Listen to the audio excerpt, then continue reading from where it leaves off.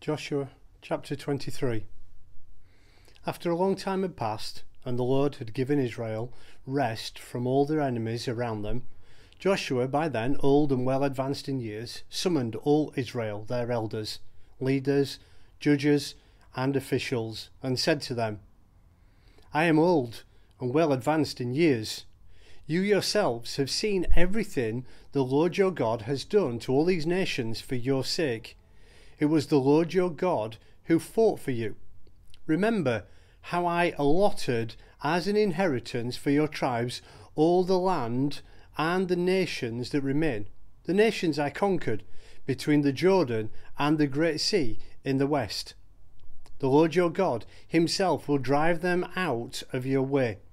He will push them out before you, and you will take possession of their land as the Lord your God promised you. Be very strong.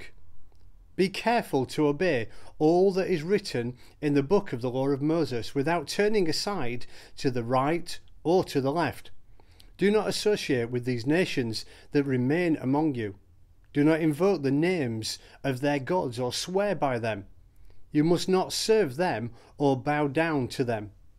But you are to hold fast to the Lord your God, as you have until now.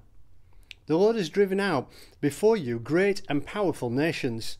To this day, no one has been able to withstand you. One of you routs a thousand, because the Lord your God fights for you, just as he promised. So be very careful to love the Lord your God.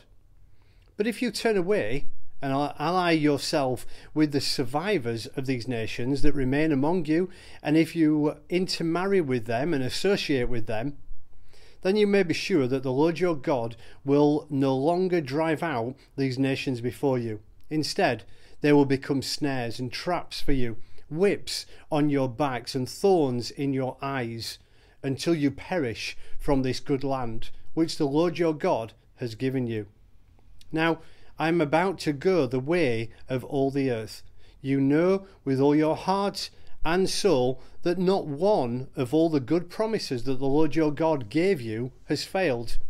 Every promise has been fulfilled, not one has failed. But just as every good promise of the Lord your God has come true, so the Lord will bring on you all the evil he has threatened until he has destroyed you from this good land he has given you.